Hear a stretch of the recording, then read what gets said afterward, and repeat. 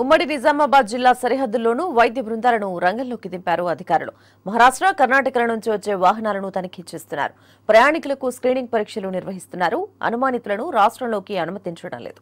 అయితే జనం రద్దీ ఎక్కువగా ఉండే బస్టాండ్ రైల్వే స్టేషన్ వంటి ప్రాంతాలలో మాత్రం కరోనా కట్టడికి ఎలాంటి ప్రత్యేక చర్యలు చేపట్టకపోవడంతో స్థానికులు పెదవి వేరుస్తున్నారు. కరోనాపై ఆంక్షలు సడలించిన తర్వాత పాఠశాలలకు విద్యార్థులు వెళుతున్నా తమకు భయంగా ఉందని అంటున్నారు పేరెంట్స్. ఉమ్మడి నిజామాబాద్ జిల్లాలో కరోనా అలజడికి సంబంధించి అధికారులు చేపట్టిన ముందు జాగ్రత్త చర్యలకు సంబంధించి మరింత సమాచారం మా ప్రతినిధి రాజేష్ అందిస్తారు.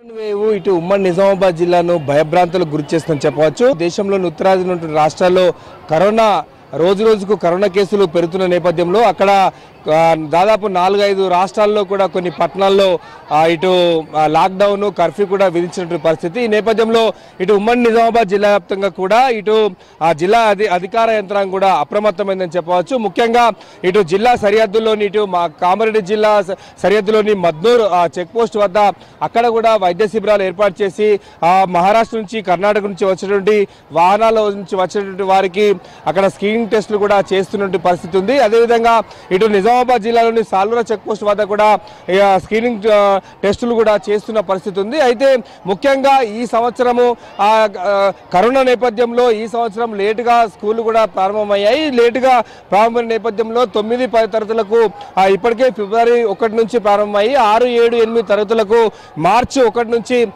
ప్రారంభమైన పరిస్థితిలో విద్యార్థులు కూడా మాస్కులు ధరించి అదేవిధంగా హ్యాండ్ శానిటైజర్ తీసుకొని వచ్చి స్కూల్కు రావాలని చెప్పేసి ఇటు ఉపాధ్యాయులు రాష్ట్ర ప్రభుత్వం చెప్తున్న పరిస్థితి.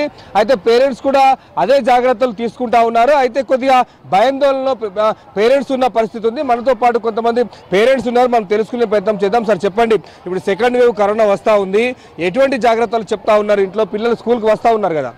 వస్తున్నారు. మేము శానిటైజర్ ఇంటి నుంచి అన్నీ పంపిస్తున్నాము. మాస్కు అవన్నీ వేసి పంపిస్తున్నాము.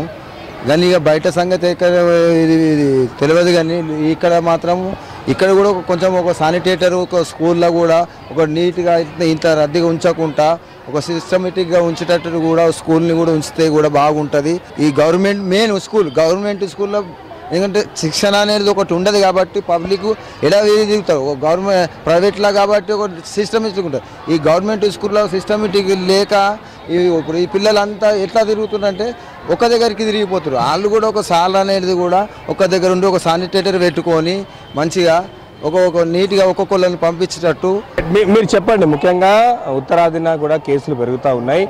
ఇప్పుడు ఇప్పుడున్న పరిస్థితుల్లో స్కూల్కి పిల్లల్ని పంపిస్తూ ఉన్నారుగా ఏమనిపిస్తుంది? సార్ భయంతోనే పంపిస్తున్నాం కానీ ఇక్కడ కొంచెం చాలా జాగ్రత్తలు తీసుకోవాలి సార్. ఎందుకంటే వాళ్ళ వల్ల ఇప్పుడు కరోనా అనేది ఒకరి నుంచి ఒకరికి వచ్చేది కాబట్టి చాలా జాగ్రత్తలు తీసుకోవాలి సార్. జాగ్రత్తలు తీసుకుంటేనే లేకపోతే ఒకరితోని మొత్తం స్కూల్కి అందరికీ ప్రాబ్లం అవుతుంది. అది శానిటైజర్ కానీ మాస్కులు కానీ కంపల్సరీ అందరికీ చేసుకోవాలని చెప్పి అని కోరుకుంటున్నాం సార్. మీరు చెప్పండి ఒక పేరెంట్గా మీరు పిల్లల్ని స్కూల్కి పంపిస్తూ ఉన్నారు కదా కరోనా వస్తూ ఉంది పొరుగు రాష్ట్రం మహారాష్ట్రలో కరోనా వస్తూ ఉంది ఏమనిపిస్తుంది? మన జాగ్రత్తలో మనం ఉండాలి సార్. పిల్లల చదువు ఉంటే బాగుంటుంది దానివల్ల అన్నట్టు. ఇట్లా శానిటైజర్ అవి వాడుకుంటే మన జాగ్రత్త మనం మాస్క్ తోటి పంపాలన్నట్టు. స్కూల్ మాత్రం బాగుంది. పర్వాలేదు అట్లా అన్నట్టు అట్లా. శానిటైజర్ అందరూ తెచ్చుకుంటే బాగుంటుంది మాస్క్ వాడుకోవాలా? హ్యాండ్ వాష్ చేసుకోవాలా? సార్లు కూడా మంచిగా కేర్ తీసుకుంటే పిల్లల్ని బాగుంటుంది అన్నట్టు అంతే. అదే ఇక్కడ పేరెంట్స్ అయితే తమ యొక్క అభిప్రాయాన్ని మాత్రం వ్యక్తం చేస్తూ ఉన్నట్టు పరిస్థితుంది. కొద్దిగా భయంతోనే పిల్లల్ని స్కూల్కు పంపిస్తూ ఉన్నాము. కరోనా వస్తుందో ఏమన్నటువంటి భయం కూడా మాలో ఉందని చెప్పేసి వారు చెప్తా ఉన్నారు. ముఖ్యంగా పిల్లలకి ఇప్పటికే మాస్కులు శానిటైజర్ కూడా ఇచ్చి పంపుతున్నామని చెప్పేసి వారు చెప్తా ఉన్నారు. స్కూల్లో కూడా ఇటు ఉపాధ్యాయులు వారి భౌతిక దూరం పాటించేలా చేయాలి. అదేవిధంగా తగిన జాగ్రత్తలు సూచించాలని చెప్పేసి ఇటు పేరెంట్స్ చెప్తా ఉన్నారు. మొత్తం మీద ఉమ్మడి నిజామాబాద్ జిల్లాలో ఇప్పుడు రోజు రోజు కూడా పదుల సంఖ్యలో కరోనా కేసులు నమోదవడంతో కొద్దిగా నిజామాబాద్ జిల్లాలో ఉన్నటువంటి ప్రజలు కూడా ఆందోళన చెందుతున్న పరిస్థితి ఉంది. ముఖ్యంగా బార్డర్లు కూడా అదేవిధంగా నిజామాబాద్కు వచ్చి పోయేటువంటి రైళ్ళు కూడా అక్కడ రైల్వే స్టేషన్లో కూడా స్క్రీనింగ్ టెస్టులు కూడా ఏర్పాటు చేయాలని చెప్పేసి ఇటు ప్రజలు కోరుతా ఉన్న పరిస్థితి ఉంది. కెమెరా